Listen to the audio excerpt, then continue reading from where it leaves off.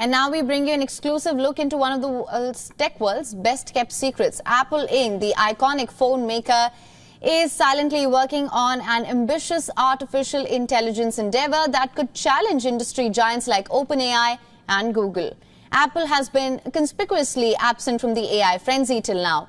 Its main artificial intelligence product, that's the Siri voice assistants, has stagnated in recent years. While making headways in other AI tools, Apple is now looking to capitalize on the growing popularity of generative AI with their proprietary framework, Ajax, and a mysterious chatbot service dubbed Apple GPT.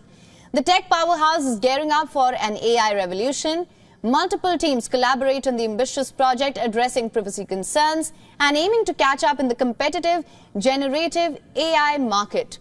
Their groundbreaking framework is already enhancing search, Siri and maps on the iPhones, but its enigmatic Apple Chat G chatbot GPT, pardon me, accessible only to select employees that holds the promise of reshaping how we interact with our devices.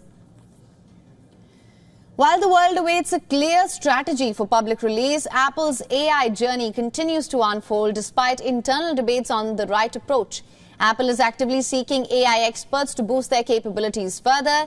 The future of Siri, with its potential integration of large language models, could hold the key to an unprecedented voice assistant experience.